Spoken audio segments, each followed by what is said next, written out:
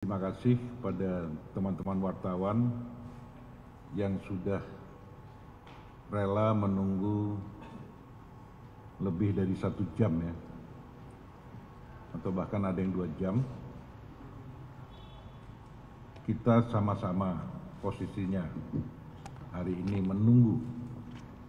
Kami menunggu kehadiran Ketua Umum PKB, DPP PKB, Pak Muhaimin Iskandar untuk melakukan pendalaman dengan meminta informasi-informasi baik secara lisan maupun tertulis yang kita harapkan beliau bawa ke sini pada hari ini. Tetapi sampai saat ini tidak ada informasi sedikit pun mengenai apakah beliau akan hadir atau tidak. Nah, setelah satu jam lebih kita menunggu, kita simpulkan Pak Muhaimin tidak hadir. Pertanyaannya adalah kenapa tidak hadir? Ini mungkin sama dengan teman-teman sekalian ya, mempertanyakan kenapa tidak hadir. Padahal kami sudah menunjukkan niat baik, mengundang dengan agenda yang jelas, melakukan konfirmasi-konfirmasi dari apa yang kami lihat, kami dengar, dan kami terima, baik itu dalam bentuk dokumen maupun informasi-informasi, pemberitaan-pemberitaan, dan lain sebagainya. Kami akan klarifikasi kepada beliau sebenarnya dengan cara seperti itu, dengan cara langsung bertemu, tatap muka. Tapi ya Alhamdulillah, ketidakhadiran beliau ini tentu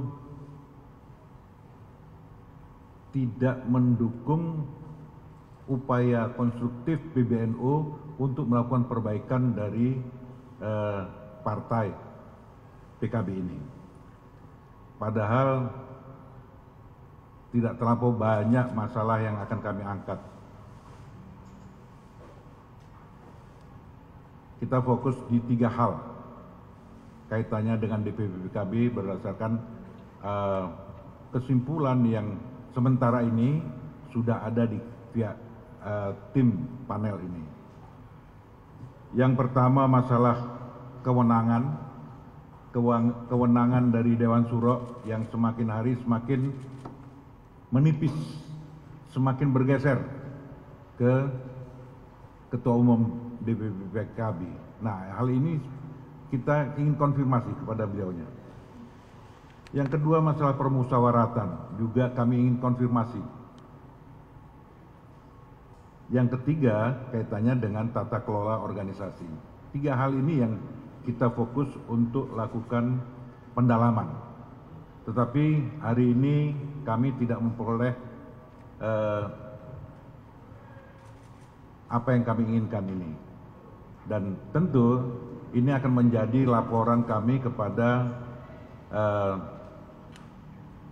tim yang sudah dibentuk oleh PBNU yang diketuai oleh Kiai Anwar Iskandar dan Bapak Amin Said Husni dan kami juga akan sampaikan kepada uh, kami sampaikan langsung kepada Ketua Umum PBNU yang menerima mandat dari Rois Am untuk melakukan perbaikan DPP PKB.